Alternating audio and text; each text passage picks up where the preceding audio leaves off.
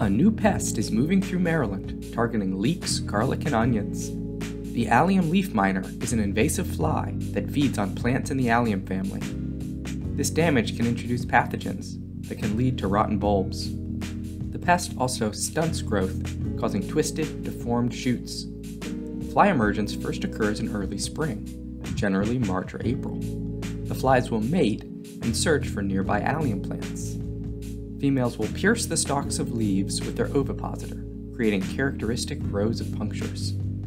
This is the first visible sign of infestation. Males and females will feed on the exuding sap of these puncture marks.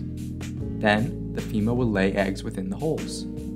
The eggs will hatch into maggots that tunnel down the length of the stalk, feeding on plant tissue. As the onions develop, so do the larvae.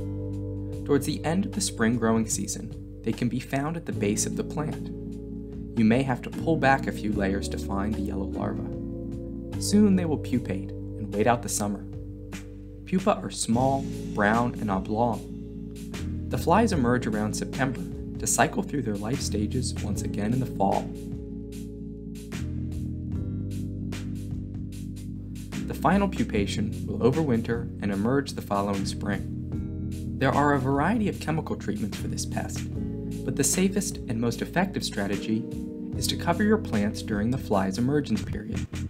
Row covers are made from translucent, white, breathable fabric that rests over hoops in the ground. They will protect uninfected gardens from flying adults. Be sure to place them on your garden during both the spring, late February to May, and autumn, late August to November.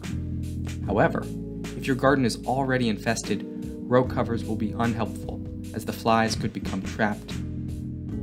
If plants have already shown signs of damage, the best solution is to cut your losses and remove your crop. Some alliums, like onions, may still be tasty, harvested early. Then, cover your soil with a tarp. We call this solarization, as it will cook the soil to kill any pupating flies. You can remove the tarp at the end of the adult's flight period in November. If you decide to do a fall allium planting, try sowing in a different bed the year of the infestation. Solarization, row covers, and crop rotation should reduce the impact of this pest and allow for abundant allium harvest in the future.